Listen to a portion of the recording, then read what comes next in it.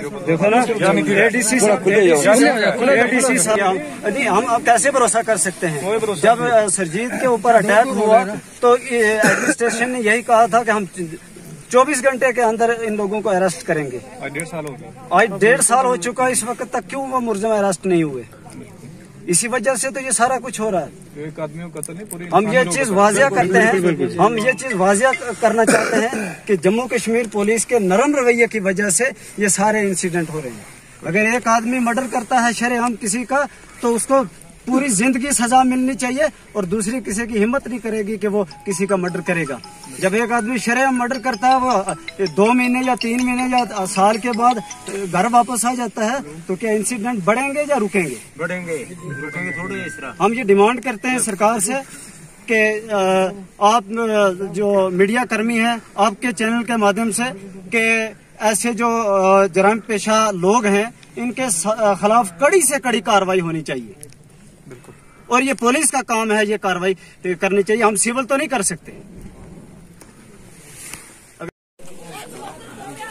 जनाब, आज सवेरे चार बजे इसो खतरनाक हादसा है जितने अवाम थी जिला या सुनी आवाज़, जिला लोगों ने अगे पिछे फ़ोन किया कि फलाना बंदो माश है अकराम शाह।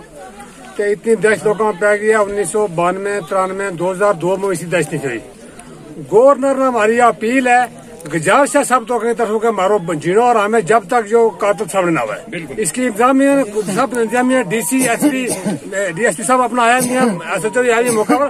लेकिन गवर्नर से हमारी अपील है कि हम उसने मिले नहीं बहुत अच्छा आदमी है नहीं तो हमारी अपील है कि इतना इस, इस कातल ना सामने आना चाहिए।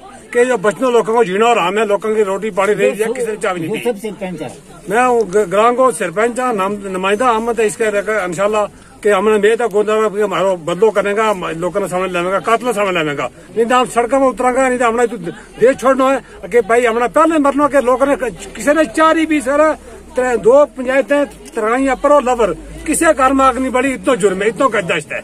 इसका वास्ते गुजारिश है हमारी अपील है गवर्नर साहब को कि इंतजामिया ने कहें कि इन्ना ये कातल ने सामने आना जाए।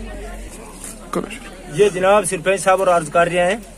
इसमें अर्ज़ इस तरह है कि इस दौर के अंदर बहुत दुनिया ऐश और आराम बिच है। कोई मिलिटेंसी दौर नहीं है इसलिए। कोई बाहर की किसी कंस्टिट्यूंसी को कोई आदमी इसलिए किसी आदमी दूसरा ने छेड़ नहीं रहे हो। इस मारा ग्रां के अंदर या इस किस्म की हेरा फेरी इसे ग्रां के बिचू लोगों ने पकड़ ली है।